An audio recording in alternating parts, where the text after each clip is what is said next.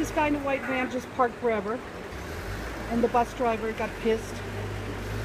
Now the guy in the white van van just decides he's gonna park on the sidewalk and see if he's gonna make it through. Alright. No casualties this time.